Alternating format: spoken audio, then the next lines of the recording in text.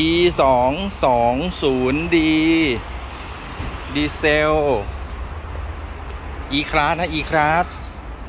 ไม่ใช่ C นะหนึ่งล้านเจ็ดแสนเก้าหมื่นบาท ปีหนึ่งเจ็ดนะจ๊ะ สวยกิฟต์หน้าหลังเดิม รถเบนซ์ไทยแลนด์นะครับล้อยางใหม่ล้อเดิม ล้อสวยไม่มีรอยเลย นี่ภายในสวยกิฟต์ตัว e x c l u s i v e นะครับหรูหราหรูหรานะครับ รถใหม่เท่าไหร่นะสามล้านป่ะสามล้านกว่านะครับอันนี้ล้านเจ็ดแสนเก้าหมื่นบาท แต่ไฟนั้นได้เต็ม มาดูกันได้ สวยกิฟต์สีดำสีดำนี่สีทุกฉลกผมมากเลยนะนะครับรถสีดำเนี่ยถูกฉลกมาก สวย เปิดได้ยังประตูนี้ เห็นไหมสวยกิฟเลย มาดูกันได้